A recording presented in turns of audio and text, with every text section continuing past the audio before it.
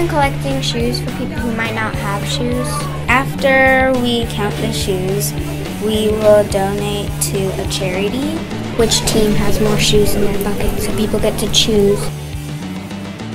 We wanted to do something to serve others. We took some time to make some posters and hung them up all over the school. Get everybody excited and, and pumped for our Super Bowl, and uh, it's kind of a, created a buzz around the building. Makes me happy that we're helping people. Broncos. Broncos. Broncos.